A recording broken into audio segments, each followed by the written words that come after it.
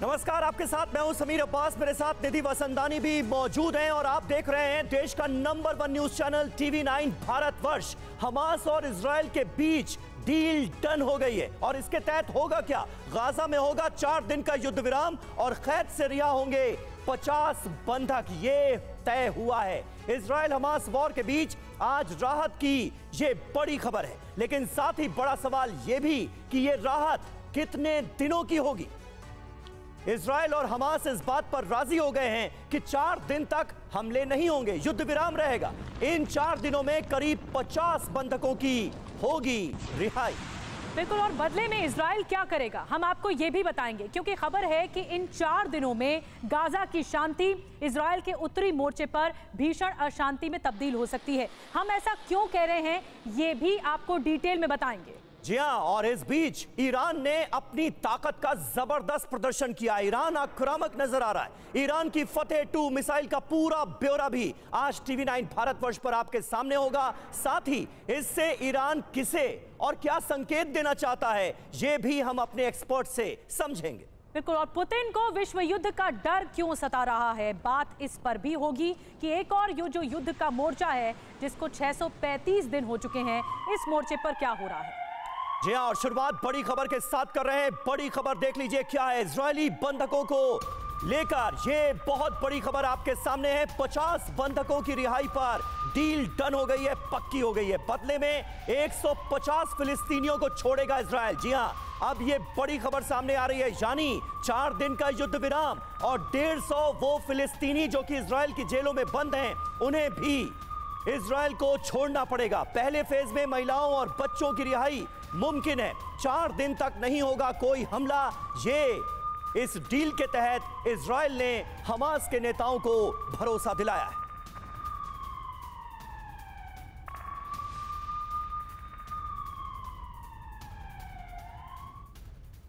और आइए देखते हैं कि बंधकों पर जो डील हुई है, जो डील फाइनल हुई है, उसमें दोनों ओर से क्या कुछ कहा गया है। हमास की तरफ़ से भी आपको बताएँगे और इसराइल की तरफ़ से भी। तो आप देख रहे हैं, समीर की तरफ़ इसराइल है और इसराइल ने कहा है कि बंधकों की रिहाई के पहले फ़ेज़ को, पहले फ़ेज़ को मंजूरी दे दी गई। तो हमास कह रहा है कि चार दिन के युद्ध विराम पर सहमति अग्रीमेंट हो चुका है। जी हाँ इसराइल और हमास के जो बयानात हैं इस डील को लेकर सेम नज़र आ रहे हैं। हम सभी बंधकों की रिहाई के लिए प्रतिबद्ध हैं। ये इसराइल ने दोहराया है और हमास ने कहा है कि ज़रूरी मदद और घायलों का इलाज जल्द से जल्द गाजा में मौजूद लोगों को मिल सके ये भी इस डील में एक अहम मुद्दा है। जी हाँ, बिल्कुल और पहले चरण में पहले फ़ेज़ में कम से कम 50 बंधकों की रिहाई हो सकेगी। हमास का कहना यह कि इस दौरान राहत सामग्री के सैकड़ों ट्रक भी आ सकेंगे। जी हाँ लेकिन खतरा यह है कि कहीं हमास इन चार दिनों में अपने आप को रीग्रुप ना कर ले। शुरू में रिहा होने वालों में महिलाएँ और बच्चे रहेंगे, ये इसराइल की तरफ़ से बताया गया है। हमास ने कहा है कि उनके 50 बंधक महिलाओं और बच्चों को छोड़ेंगे। यानी इसराइल और हमास दोनों ये मान रहे हैं कि शुरुआत में महिलाएँ और बच्चे छोड़े जाए बिल्कुल, समीर, और एक और बात कही गई कि चार दिन में हमास के कब्जे से रिहा होंगे पचास बंधक। ये डील का हिस्सा है और हमास का कहना है कि उनकी जेलों से हमारे 150 कैदी छूटेंगे। तो ये जो म्यूचुअल एक्सचेंज है, वो हुआ है। जी हाँ इस दौरान हम गाजा में ऑपरेशन रोक रहे हैं। ये इसराइल ने माना है, चार दिन तक अब हमास के खिलाफ कोई ऑपरेशन नहीं होगा। सीज फायर के दौरान कहीं कोई हमला नहीं होगा। ये हमास की शर्त थी और इसे इसराइल ने मान लिया है और उसके बाद ही ये डील डन हुई है। हमारे साथ इस वक्त कुछ खास मेहमान मौजूद हैं। उनसे आपका तारुफ करा दें मेजर जनरल एसवीपी सिंह साहब। हमारे साथ जुड़ चुके हैं। इसके अलावा कमांडर अतुल भारद्वाज भी हमारे साथ मौजूद हैं। सिंह साहब, ये बताइए कि एक तरफ़ हमास के समूल नाश की बात की जा रही है और दूसरी तरफ़ उन्हीं हमास के नेताओं से इसराइल डील कर रहा है और 50 बंधकों की रिहाई कराई जा रही है। चार दिन के युद्ध विराम की बात हो रही है। डेढ़ सौ फिलिस्तीनियों को जेलों से छोड़ने की बात हो रही है। पर्दे के पीछे भी कोई खेल चल रहा है क्या? देखें नेटनान्यू के ऊपर बहुत ज़्यादा डोमेस्टिक प्रेशर है जी। कि जितने भी ये बांदी हैं ये वापस आएँ। और क्योंकि वैसे भी लड़ाई के हालात में घायल हो रहे हैं लोग तो ये जो उसके ऊपर प्रेशर है उसको भी मानना पड़ रहा है इसराइली कैबिनेट को वॉर कैबिनेट को।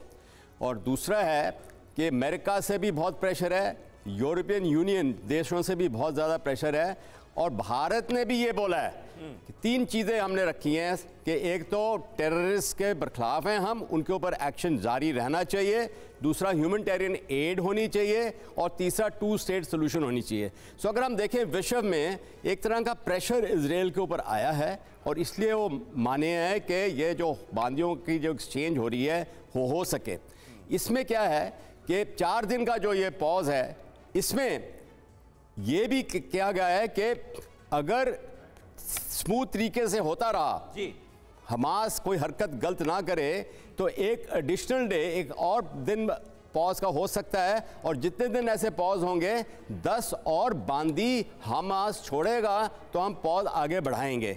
और ये जो 50 बांदी अभी रिलीज़ हो रहे हैं इसमें 19 साल से कम जो बच्चे हैं वो हो रहे हैं और बाकी महिलाएँ हो रही हैं। सिंह सर बहुत बड़ी बात आप कह रहे हैं। और आइए देखते हैं कि पुतिन ने ब्रिक्स की मीटिंग में और क्या कुछ कहा है क्या संकेत दिए हैं पुतिन की तरफ़ से। पुतिन को महायुद्ध की किस तरह से आशंका नज़र आ रही है? बिग वॉल के ज़रिए बड़ी डिटेल्स आपको बताने जा रहे हैं। एक एक करके टारगेट क्या है दरअसल पुतिन का? वो है अमेरिका। टारगेट अमेरिका इसलिए अमेरिका मिडिल ईस्ट में शांति नहीं होने दे रहा है। अमेरिका अपने स्वार्थ में सुरक्षा को दांव पर लगा रहा है ये कहना है। जी हाँ और दुनिया से वो अपील करते नज़र आते हैं। इंटरनेशनल कम्युनिटी हालात को संभाले।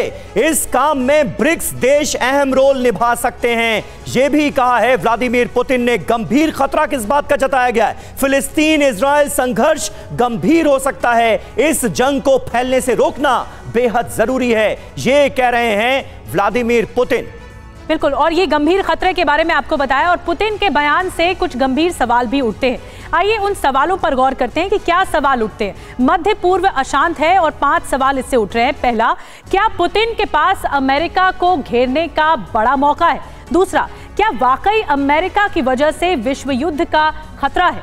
जी हाँ और क्या चीन, रूस के पास मिडिल ईस्ट में दखल का ये एक बड़ा मौका है? चौथा सवाल, क्या मिडिल ईस्ट एपिसोड दुनिया को दो हिस्सों में बांट देगा क्या? पांचवा बड़ा सवाल, क्या मिडिल ईस्ट की जंग आगे भयावह होनी तय नज़र आ रही है? जिस तरह से इस वक्त मिडिल ईस्ट सुलगता हुआ नज़र आ रहा है। एसवीपी सिंह साहब, और ज़ाहिर सी बात है कि अगर मिडिल ईस्ट सुलगता है, और बड़े देश इस जंग में कूदते हैं, क्योंकि दुनिया तो पहले ही दो धड़ों में बटी हुई नज़र आ रही है, फिर ज़ाहिर है विश्व युद्ध का खतरा और ज़्यादा बढ़ेगा। देखिए समीर मिडिल ईस्ट इस समय ज्वालामुखी पे बैठा है। और कभी भी ये जो लड़ाई की हालात है ये खतरनाक मोड़ ले सकती है। और रूस का भी क्या रोल रहा है कि जब ये बोल रहा है कि अमेरिका को फंसाना है अमेरिका के ऊपर प्रेशर डालना है और ये युद्ध बंद हो जी। तो उसका ये भी प्लान है कि जो यूक्रेन में लड़ाई हो रही है वहाँ से वो डायरेक्शन बदलना चाहते हैं। कि अमेरिका और नेटो देश यूक्रेन की ज़्यादा मदद मत करें और और यहाँ पे मदद करें। ये भी उसका एक प्लान है कि उसके जो प्रेशर है क्योंकि इस समय जो लड़ाई यूक्रेन में चल रही है उसमें रूस को कोई ज़्यादा सक्सेस नहीं मिला। सिंह साहब क्या इस परिस्थिति का फ़ायदा उठा रहा है रूस? बिल्कुल वो फ़ायदा उठाएगा। चीन के साथ भी मेल मिलाप करके ईरान के साथ भी मेल मिलाप करके वो पूरा फ़ायदा उठाएँगे। ये तो पॉलिटिक्स है रणनीति की बात है ये ज़रूर किया जाएगा। और सामाजिक तौर पे भी ये बिल्कुल सही है।, है कि रूस और ईरान ने इस युद्ध में अब तक जो चाहा वो पाया। अमेरिका को इंगेज कर दिया गया है इस एक और युद्ध में ताकि यूक्रेन से उसकी तवज्जो कम हो। इस बीच बड़ी खबर गाजा में इजरायली वायुसेना का भीषण हवाई हमला हुआ है। फाइटर जेट ने रिहायशी इमारतों पर दागे हैं गोले। हवाई हमले में कई इमारतें कर दी गई हैं तबाह। ये देखिए तस्वीरें आपके सामने हैं। सारी इमारतें मलबे में तब्दील हो गई हैं। हर तरफ़ सिर्फ़ और सिर्फ़ खंडहर और मलबा नज़र आ रहा है।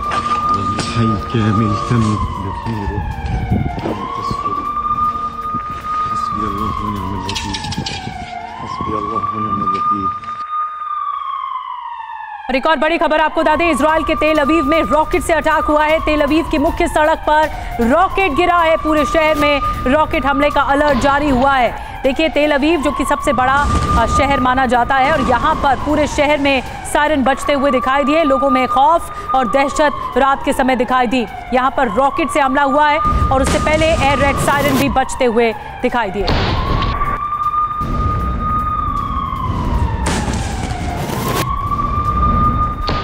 और देखिए, इस बीच एक बड़ी खबर, ब्रिक्स की बैठक में इसराइल विरोधी देशों के सख्त तेवर भी साफ़ तौर पर नज़र आए। ईरान के राष्ट्रपति ने इसराइल की सरकार को आतंकी कहा। सऊदी अरब ने भी दिखाए इसराइल पर बहुत कड़े तेवर। इसराइल को हथियार एक्सपोर्ट बंद करने तक की मांग की गई।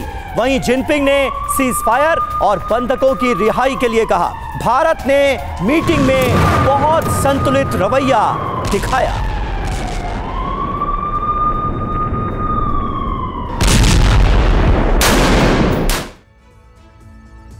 और आइए देखते हैं कि ब्रिक्स की मीटिंग में किसने क्या कुछ कहा है। आपको डिटेल में बताते हैं कौन क्या कुछ कह रहा है। ब्रिक्स मीटिंग में मुखर इसराइल विरोध हुआ। ईरान के राष्ट्रपति रईसी इसराइली सत्ता और आईडीएफ आतंकी घोषित हों। ईरान के जो राष्ट्रपति रईसी है, उनकी तरफ़ से ये कहा गया। अब सऊदी क्राउन प्रिंस की तरफ़ से क्या गया? कहा गया कि सभी देश इसराइल को हथियार देना बंद करें। जी हाँ तो देखिए कैसे सख्त तेवर तमाम देशों ने दिखाए। इसराइल के खिलाफ वहीं चीन के राष्ट्रपति जिनपिंग की तरफ़ से कहा गया कि इंटरनेशनल पीस कॉन्फ्रेंस बुलाई जाए। ये कह रहा है चीन। गाजा में सीज फायर की बात चीन की तरफ़ से भी कही गई है कि फ़ौरन सीज फायर होना चाहिए और जो बंधक हमास के कब्जे में है, उन्हें तुरंत रिहा किया जाना चाहिए। इस पक्ष में है चीन। वहीं भारत का सबसे संतुलित रवैया भी सामने आया। ब्रिक्स की मीटिंग में हमारे विदेश मंत्री एस जयशंकर ने कहा कि आतंकवाद से कोई समझौता किसी भी हाल में नहीं होना चाहिए। लेकिन यह भी कहा गया कि फिलिस्तीनी नागरिकों की जिस तरह मौत हो रही है, भारी संख्या में जो आम नागरिक मारे जा रहे हैं, वो भी हमारे लिए चिंता का सबब है। इसलिए हम इस पक्ष में हैं कि युद्ध को फ़ौरन रोका जाना चाहिए निधि। बिल्कुल समीर और ये एक तरह से बहुत बड़ी कूटनीति है। अतुल जी मैं आपके पास आ रही हूँ। आप कैसे देखते हैं? क्योंकि ब्रिक्स मीटिंग एक बहुत बड़ा मंच है। यहाँ पर खुले स्वर में विरोध किया गया। इसराइल का इसका पलड़ा भारी था। बेशक भारत एक संतुलित रवैया अपनाया हुआ है। आप क्या देखते हैं? बाकी ब्रिक्स ब्रिक्स के देशों में ये अंतर है। चाइना ने जैसे कभी भी ये हमास के अटैक को आ, बड़ा आ, उसको क्लियरली कंडेम नहीं किया हमास का अटैक को। उसने इसराइल के अगेंस्ट बोला है। हमारे देश ने हमने क्लियरली ये बोला है हमास अटैक ये टेररिस्ट अटैक है और इसके इसके लिए जो भी कार्रवाई करनी पड़ेगी वो करनी चाहिए। हमने दूसरी तरफ़ टू स्टेट सोल्यूशन को भी सपोर्ट दिया है। हमने दूसरी तरफ़ सीज फायर को भी सपोर्ट देते हैं। Right right. पर जहाँ तक अब ये जो लड़ाई है एक्चुअली अगर आप देखेंगे ब्रिक्स में ये ग्लोबल साउथ की लड़ाई है। ग्लोबल साउथ जो है, जो कंट्रीज़ हैं, जो इमर्जिंग कंट्रीज़ हैं, इमर्जिंग इकोनॉमीज़ हैं, गरीब देश हैं दुनिया के, वो आज बड़े इंपॉर्टेंट हो गए हैं। अमेरिका भी उनको कोट करना चाहता है, इंडिया भी उनको कोट कर रहा है, चीन भी उनको कोट करना चाह रहा है। तो ये जो लड़ाई है, इसमें ये एक डिप्लोमेटिक फ्रंट पे जो लड़ाई चल रही है, उसमें ईयू और यूएस से हारते हुए नज़र आ रहे हैं। दबाव आएगा इसराइल पर इस डिप्लोमेटिक फ्रंट देखिए हर फ्रंट पे डिप्लोमेटिक हर जगह डिप्लोमेसी चल रही है। 22 अरब अरब कंट्रीज़ के नेता जो फॉरेन मिनिस्टर हैं सऊदी अरेबिया के उन्होंने ये डेलीगेशन लीड किया। वो चाइना तक लेके गए और उन्होंने चाइना में आ, उनके फॉरेन मिनिस्टर से मिले और उनको ये रिक्वेस्ट करी कि आप अमेरिका पे दबाव डालिए कि वो सीज फायर करे। अभी आपने देखा बाइडेन और शी की भी मीटिंग हुई थी और ऐसे में भारत का जो संतुलित रवैया है भारत की तरफ़ से जो कहा गया है अगर उस पर अमल किया जाता है तो इस रीजन में निश्चित तौर पर शांति जल्दी आ सकती है इसके आसार हैं। लेकिन क्या ऐसा होगा ये बड़ा सवाल है। इसराइल के किरियत शिमोना में इस बीच हुआ है ड्रोन से अटैक। हमास के लड़ाकों ने किया है ड्रोन हमला। आयरन डोम ने ड्रोन को उड़ा दिया ये देखिए इसराइल के क्रियत में जो हमला हुआ है उसे ड्रोन के जरिए अंजाम दिए जाने की कोशिश थी लेकिन आयरन डोम ने इस हमले को नाकाम कर दिया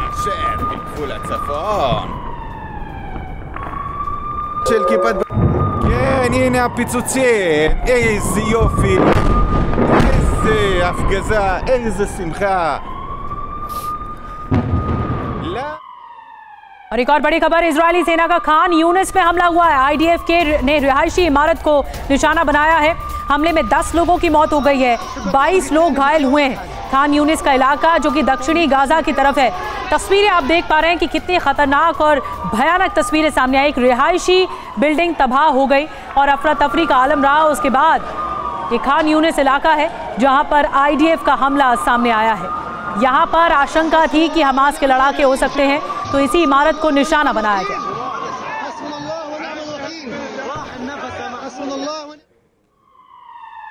और देखिए, इस बीच जंग के मैदान से एक बहुत बड़ी खबर है। राहत टीम पर भी हमले कर रही है। इजरायली फोर्स, ये बड़ी खबर सामने आ रही है। आईडीएफ के पास लोकेशन होने के बावजूद हमले हो रहे हैं। राहत टीम की लोकेशन मुहैया करा रहा है। अमेरिका, ये बताया जा रहा है कि कहाँ पर रेस्क्यू टीम से जुड़े हुए लोग हैं, कहाँ पर राहत टीम है, ये बताया गया इसराइल को। लेकिन इसके बावजूद भी उन जगहों पर हमले किए जा रहे हैं, इसराइल की तरफ़ से, इसराइली डिफेंस फोर्सेस की तरफ़ से, जहाँ पर राहत टीम मौजूद है।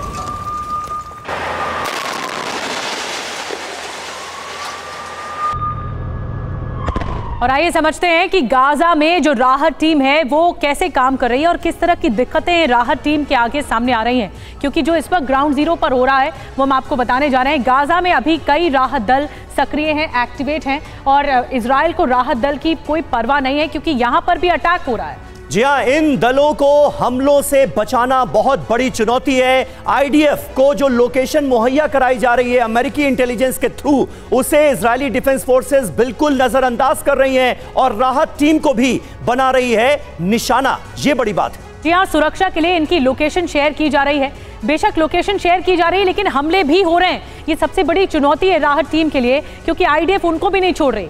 इसराइल डिफेंस फोर्स को बताई जाती है इनकी लोकेशन और फिर इसी आधार पर यहाँ पर अटैक हो रहा है। कहीं ऐसा तो नहीं कि जो राहत है, मदद है, वो हमास तक न पहुँच जाए। जी हाँ हमलों से ज़रूरी चीज़ें पहुँचाने में लोगों को दिक्कत आ रही है। अमेरिकी एजेंसियों के जिम्मे ये काम है। अल शिफा हॉस्पिटल में भी चपेट में आई थी राहत टीम और हमने देखा है कि इस दौरान इतने जो बड़े हमले हुए हैं गाजा के अंदर, उसमें यूएन के कई राहत कर्मचारी भी मारे गए हैं, जिसको लेकर यूएन ने नाराज़गी का इजहार भी किया था। इन तमाम अहम खबरों पर लगातार हमारी नज़र बनी रहेगी।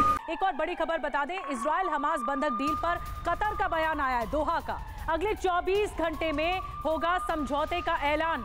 ये कहा गया है, चार दिनों तक जारी रहेगा सीज फायर युद्ध विराम बंधकों की रिहाई के लिए कतर और इजिप्ट लगातार मध्यस्थता कर रहे थे और इसके बाद फिर ये बड़ी कामयाबी मिली है।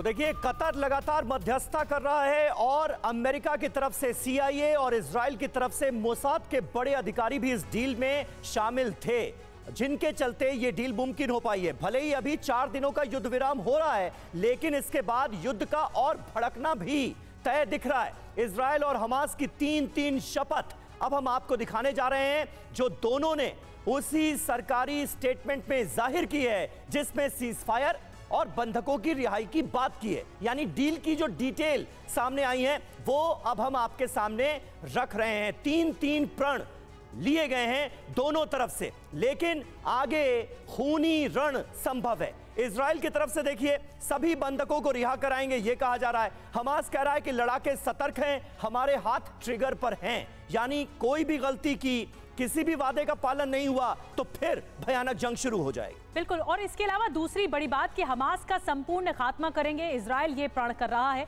और हमास कह रहा है कि आज़ाद फिलिस्तीन बनकर रहेगा। तो ये प्रण तो हैं, तीन इंटू तीन प्रण दिखा रहे हैं, लेकिन किस तरह से ये रास्ता खूनी रण की तरफ़ बढ़ रहा है? तीसरी बड़ी बात, गाजा से खतरे का अंत होगा, ये इसराइल कह रहा है। तो हमास कह रहा है कि अल कुद्स फिलिस्तीन की राजधानी होगी। हमास एक अलग मोर्चे पर है तो इसराइल ने प्रण कर लिया है कि हमास का तो खात्मा होगा।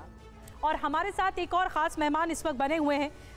हमारे साथ कमांडोर कमांडर अतुल भारद्वाज जी बने हुए हैं। अतुल जी, आप क्या समझते हैं? ये जो जिस प्रण की बात हमास कर रहा है या जिस प्रण की बात इसराइल कर रहा है, क्या वो मुमकिन है कि इस युद्ध का अंत हो पाएगा? क्योंकि ऐसा लगता नहीं है, जो रक्त बीज हमास के सामने आए हैं, वो और ज़्यादा आइडियोलॉजिकली वॉर की तरफ़ बढ़ते हैं। देखिए, ये युद्ध जो है, ये तो काफ़ी पुराना है, हम सब जानते हैं।